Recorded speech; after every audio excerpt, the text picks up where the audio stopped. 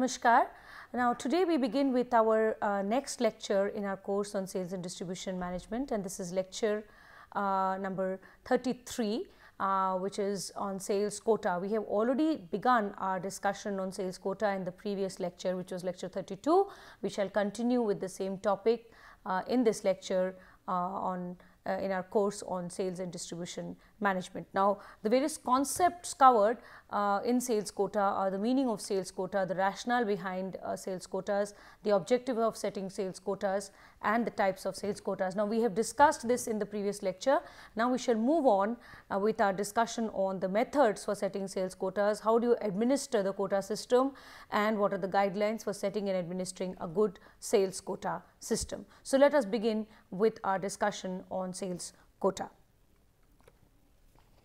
Now, um, coming to a brief recap, uh, you know if you remember we said that a sales quota is a quantitative objective and it is assigned to a marketing or a sales unit and with the objective that a desired a level of sales volume can be attained uh, within a time frame.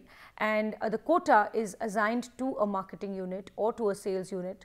And the unit here may be a person uh, you know as an individual salesperson or it could be a branch or a region or a zone the quota could also uh, be set for a marketing unit or a sales unit like a channel partner and these quotas may be set uh, for sales volume or for expense or for profit as well as for selling and non-selling activities. So, uh, the quota is a quantitative objective assigned to a marketing or a sales unit and this marketing or sales unit could be a a division or a zone or a region or a branch or an individual salesperson and the quotas here uh, can be set for sales volumes or for uh, you know expenses and profits as well as for selling and non-selling activities. In the previous lecture we spoke about the various types of sales quotas where we said that we have the sales volume uh, quota which could either be spelled out uh, in currency or in terms of units or in terms of um, you know uh, points. And then we spoke of uh, the uh, you know expense quotas uh, where we said that it was it, it, it, relates to the gross profits and the net profits and the selling expenses. And then we spoke about the activity quotas uh, and a combination of each of these which can be used uh, by organizations depending upon the kind of product uh, they are they, they, they are selling depending upon the kind of segment they are catering to and the kind of market conditions. Uh, so, now uh, let us continue uh, with you know the next topic of discussion under this under sales quotas which is how do you go about setting sales quotas or what are the methods for setting sales quotas. So, uh, the different methods may be used to set sales quotas and these could be based uh, or and or derived from on the basis of the following methods. Uh, they could be based on the territorial sales potential or the total market estimates or the past sales experience, executive judgment, uh, salesperson's estimates or the compensation plan. Now, most companies use more than one of these so that realistic quotas can be set and so uh, they, there are different methods for setting sales quotas. We have the territorial sales potential method, the total market estimates method, the past sales experience method, the executive judgment method, the salesperson's estimates method and the compensation plan method. And I repeat um, in most cases companies use more than one of these so that realistic quotas can be set for the different marketing and sales units be it the salesperson or the branch or the region or the zone or the national territory. So, let us first begin with the first method which is the territorial sales potential method for uh, deciding or determining quotas. Now, the sales volume quota here is determined on the basis of the sales potential in a particular sales territory and the sales potential here uh, represents the maximum sales that a sales organization can achieve in a particular period. Now, deriving the sales uh, targets or the sales quota from the territorial sales potential uh, is, uh, is appropriate in those conditions where the territorial sales potential uh, is in coherence or in conjunction with the territorial design and a bottom up approach has been used for determining the sales estimates. We have spoken about the top down and the bottom up approach uh, on sales forecasting and on sales planning uh, in the previous lectures. So, in those cases where the territorial sales potential is in coherence with the territorial design and where a bottom up approach is used for determining sales estimates, uh, the, the, the, sales managers can use territorial sales potentials as uh, an appropriate method for determining the sales targets or the sales quotas. Now, generally companies follow the following procedure. They estimate the industry sales forecast or the market potential for the next year using the sales forecasting methods. Then the multiple factor index or the MFI for each territory is calculated. The MFI is based on the factors uh, that influence the sales of a product and uh, are assigned weights matching the degree of sales opportunities. So, the multiple factor index or the MFI for each territory is calculated and this, this MFI is based on such factors which influence the sales of a product and these are assigned weights matching the degree of sales opportunities. Next, this industry sales forecast in a territory for the next year is calculated. This is the territory market, territorial uh, market potential and is equal to the industry sales forecast for the next year multiplied by the MFI for each territory. Finally, the territorial sales quota is determined which is equal to the territor territory market potential multiplied by the estimated market share of a company in a particular territory. So, companies first estimate the industry sales forecast or the market potential for the next year they can use different kinds of sale forecasting methods for this.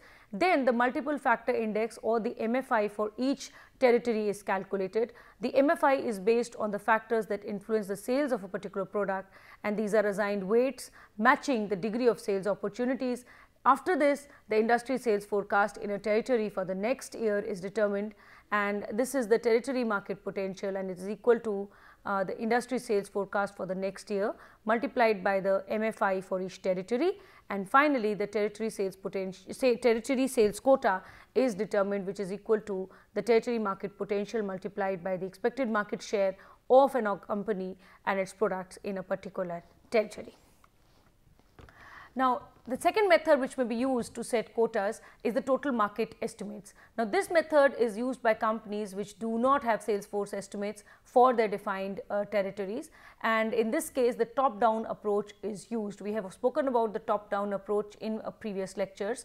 Uh, the company can either divide the total sales estimates into relative sales opportunities by using a suitable index or it can convert the company's sales estimates into a national sales target by using an index of relative sales opportunities which can further uh, be then uh, classified across or categorized across zones, regions, branches and to individual salespeople. So, uh, the total market estimates is used in situations uh, where uh, you know the sales force estimates uh, for the defined territories are not available and the top down approach is used. So, the companies either divide the total sales estimates into relative op sales opportunities by using a suitable index or they can convert the company sales estimates into a national sales target by using an index of relative sales opportunities across territories and zones which they can further then divide across zones, regions and branches and to individual sales persons. So, how do companies go about doing this? They first estimate the industry sales forecast or the market potential for the next year using the sales forecasting method. Then the this estimated then then they then the company's estimated market share for the next year is calculated. After this, the company's sales forecast for the next year is determined. This equals industry sales forecast or the market potential multiplied by the company's estimated market share for next year. Following this, the percentage share out of the total uh, company sales in the previous year for each territory is calculated. So, this helps arrive uh, at the territory sales quota this equals the company's next year sales forecast multiplied by the percentage share out of the total company sales in the previous year for each territory. So, uh, the, the companies they start with estimating the industry sales forecast for the next year and then the company's estimated market share for the next year is calculated. After this the company's sales forecast for the next year is determined which this equals uh, industry sales or market potential multiplied by the company's estimated market share for the next year. After this the percentage share out of the total company sales in the previous year for each territory is calculated and this will help us reach a figure which is the territory sales quotas and this equals the company's next year sales forecast uh, multiplied by the percentage share out of the total company sales in the previous year for each territory. So, in this way companies uh, set uh, the sales quotas based on the, uh, the based on the uh, total market estimates. The third method which companies can use to, uh, to, to, to decide on the sales quotas is the past sales experience. Uh, in this method, the quota is set on the assumption that there is a relationship between the past sales of the company and the future sales of the company.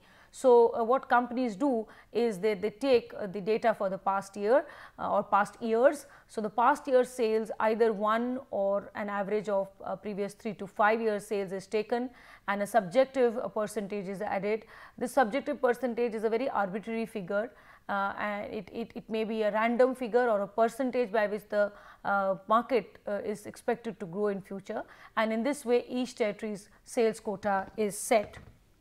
However, there is a problem with this method. Uh, the very premise of the method that future sales are based on past sales may not be a correct assumption and hence it is it is important that this method is not used uh, you know solely it is all it must be used with other methods.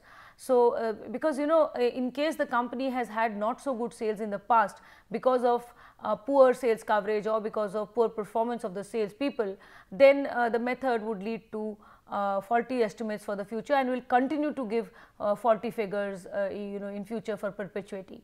So, uh, this is the reason why uh, this method is some is, is not appropriate to be used uh, alone or in sole. Also in case the past performance goes unobserved such errors would be perpetually repeated. So, that is the reason why this method is not you know recommended to be used with full you know validity and it must always be used in uh, with other methods. Um, often it happens that the company is not able to perform well or it does not generate sufficient sales because of poor performance of the uh, sales force because they do not lack the knowledge skills and abilities or because they are not motivated enough to perform. So, in such cases uh, depending upon past sales figures may not be uh, to, to, to, to, to predict the future may not be wise. Similarly, it may so happen that uh, the company has not performed well in the past because of certain market conditions uh, which were adverse to the company and if, if, if now in, in cases where the market condition has improved or things are better for the organization depending upon past figures may not again be right. So, that is how this method suffers from limitations. Uh, past sales figures and past sale trends may be just one of the factors for deciding the sales quota and so uh, this method must be used with other methods. The executive judgment method uh, is, a, is a method which bases the sales quota on executive judgment. The decision to base sales targets on the base of executive judgment is right and warranted only and only when the company is new or it is launching new products or it is entering into new territories and markets and when not much information uh, is available. Uh, for example, there is not much information available about the market potential or the territorial sales potential. Now, it is very crucial that executives who make judge estimates uh, you know and provide judgments are involved uh, you know uh, in, in the process and they have enough experience to make these sound judgments. Very, very important uh, that uh, people who are making these estimates have the necessary knowledge, skills and abilities, they have the experience, they have served in uh, similar territories, they have sold similar products and they have enough experience to make sound judgments. The method again should not be used in sole and should be used with other methods. Then we have the salesperson's uh, estimates method. Now, sometimes companies may give the entire responsibility of determining the sales targets to the salespeople themselves. Now, the reason behind this is that because the salespeople are uh, you know close uh, close to the territories, they are working in the territories, they know the realities, they know the true picture, uh, they are aware of the market conditions in those territories and so they would be uh, you know they, they expected to set realistic targets. Also the management feels that by asking the salespeople to set their own targets, uh, they, they, you know there would be lesser complaints from the sales staff uh, with respect to you know difficult targets having been set or unrealistic targets being having been set uh, because uh, you know it is the sales staff themselves who have been responsible uh, in the target setting or in the goal setting. Also because these people have been involved in the target setting or the goal setting, they would themselves be more motivated towards attaining these goals or these sales targets. However, the limitation with this method is that there is always a possibility that salespeople may set quotas which are either too high or too low and they may deliberately uh, you know set uh, small targets which can be achieved easily and so that they can pronounce themselves as big achievers or they may set targets which are too too too too uh, you know high uh, uh, so they are too high and and uh, uh, unrealistic or it may so happen uh, just bec just because they want to earn more commissions or it may so happen that they set targets which are unrealistic and very very um, you know hard to achieve so that they they it, you know it, they can project to uh, that management team that they have been putting in efforts, everybody, all of them have been putting in efforts, but they are not able to achieve them. They may also set targets which are very low and small so that they can you know easily attain them and then uh, sit down and relax. So, uh, it, it, this, this is the limitation with this particular method and so to deal with this problem most sales managers discuss with their sales people, they take their inputs, they, they uh, take their suggestions, but the final decision with respect to uh, the sales quota or the target is actually set is actually decided by the sales managers themselves. The next method is the salesperson's compensation plan method. Now, companies may also decide to base the sales targets on the basis of the compensation that the management feels that the salespersons must be offered. Uh, companies keep in mind issues of internal and external equity when they design their compensation packages and their incentive and reward schemes. Internal equity is when people performing similar jobs in the organization are rewarded equitably. External equity is when people working on similar jobs in all companies uh, in a particular industry are paid similarly. Now, most companies act, practice this principle of internal and external equity and they keep in mind the kind of incentives that they must give to their salespersons to keep them motivated at, at their workplace. However, too much of reward or too much of incentives would mean that the company would lose out on finances or on uh, you know money which it could use later for other for other activities. So, companies decide on the kind of compensation or the or the limits to the kind of compensation that they they, they can afford to give to their salespersons and accordingly keeping in mind principles of internal external equity they, they, they set such targets which they feel uh, if, if, if attained by the sales force can be rewarded as well as uh, you know there can be a feeling of equitable, equitable reward as well as they would be uh, you know a company would be in a position to save on money for, for, for, for other expenses to be taken care of. So, in this case no past estimates or territorial estimates are used, neither no judgments are made, compensation is purely and purely used as a measure for determining targets. Now, coming to administering the quota system, sales quotas that are set must be reasonable, they must be realistic. The target should be such that they are well accepted by the sales people and the sales personnel must be kept well informed of the targets to be achieved as well as uh, you know they must be uh, given feedback on their performance periodically. So, this would make the sales person sales manager's job easy as he would be able to secure full cooperation from the sales personnel. So, it is very very important that sales quotas are set they are difficult goals, but reasonable and realistic and the, the, they are well accepted by the sales force and the sales force are not only made aware of the targets that they must attain, but they also given feedback on their performance periodically. So, sales quotas that are set must be reasonable and realistic. To be effective, targets formulated by an organization must be accurate, they may be fair and attainable.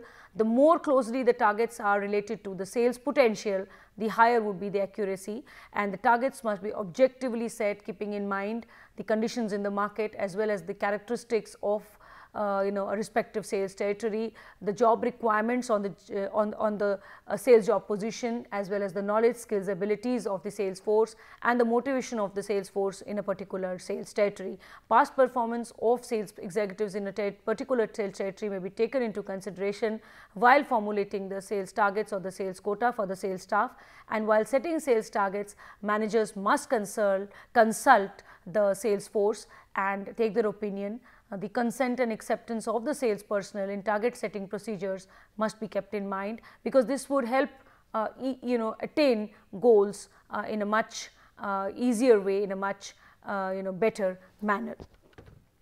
The target should be such that they are well accepted by the sales force. Sales personnel must be involved in the target setting. When they are involved in the process of uh, determining sales targets, it becomes easy for the company to explain to them the reason behind the formulation of such targets, whether they are high or whether they are low and the conflicts over reducing targets are also lessened in case targets are set very high. Uh, you know often it happens that because targets are set very high there is a resistance from the sales team and from the sales personnel. So, such conflicts can be reduced if the sales people are included in the process of goal setting. Uh, also when salespersons are involved in target setting, management can be assured that the targets would be accepted and attained because the sales staff themselves have been a part of the goal setting. However, it is advisable for companies not to entrust the whole target setting process to the sales team. Their participation should be uh, you know uh, solicited uh, to smoothen the process of acceptance of the goal and to minimize chances of any kind of conflict that may happen later on. Salespeople must be well informed of the targets to be achieved as well as their performance periodically. Uh, they must be kept informed about the activities that they must they must perform and their periodic performance. This would help the sales staff realize as to whether they are uh, you know performing well and or where they are lacking and uh, they would and, and and then the sales managers would be able to uh, take uh, you know appropriate measures uh, for improving uh, the performance of their staff with respect to achievement of the targets. There must be a provision for continuous and close managerial supervision and control as well as mentoring and guidance. Uh, for achievement of targets, it is important that the performance of salespersons is regularly monitored by their supervisors or by their superiors and this can be facilitated by charting their performance on a periodic basis whether it is weekly or fortnightly or monthly and often it happens that because of adverse market conditions uh, salespeople are not able to attain targets or because targets are too high uh, salespersons are not able to attain the targets. So, in such ca cases salespeople often need advice and encouragement from their superiors and so it is very important that salespeople are provided with such uh, you know with advice and encouragement from their superiors for achieving their targets on time and they must be provided with all kind of help and support uh, which they need so that they can perform well in their respective territories. Now, coming to the guidelines for setting and administering a good sales quota system. Now, uh, setting a sales quota is a difficult exercise. It must be done very, very carefully and executives who are given this responsibility of setting targets uh, must possess uh, the knowledge, skills, abilities, uh, they must have the desired, they must have uh, you know experience in this activity and they must handle the task with great clarity and precision. The quota system must be such which is simple to understand, easy to implement, easy to monitor and uh, objectivity must be exercised while fixing quotas. Targets must be based on facts, on figures and keeping in mind the uh, characteristics uh, of a of a characteristics of a sales territory and keeping in mind the market conditions uh, prevailing in a sales territories. They must be realistic, the targets must be smart. When we speak of smart, it is specific, measurable, attainable, realistic and time specific. Now, it is very important uh, that uh, targets are, are defined in terms of time uh, because until unless there is a time uh, you know limit uh, and, uh, you know a plan in the form of a quota will never be attained. So, when we talk of planning when we talk of control uh, both of which you know can be seen through a quota system what is required majorly is the time dimension. So, quotas must be very time specific which should which would speak about what has to be attained in what time period and uh, these goals must be specific, they must be measurable, they should be quantifiable, uh, they must be realistic and attainable and uh, very very time specific. If targets are too high the salesperson will apprehend the futility of the effort and would not put in efforts at all. Uh, they would be demotivated and leave the organization which would lead to high attrition rate. Again this gets related to Vroom's expectancy theory of motivation where if uh, you know the targets are too high salespersons would feel that their efforts would not in any way lead to the desired performance. So, targets should not be too high uh, because if they are too high salespeople will, will apprehend the futility of their efforts and they will not put in any efforts at all and they would sooner or later leave the organization and go uh, which would be damaging to the organization uh, you know in every you know uh, especially and in even more damaging in case the person leaves and joins the competitors organization. If targets are low, company may forego the opportunity to earn higher sales and profits as the salesperson may be just contented to reach the target and sell no more. So, whatever the targets are, they should be very realistic.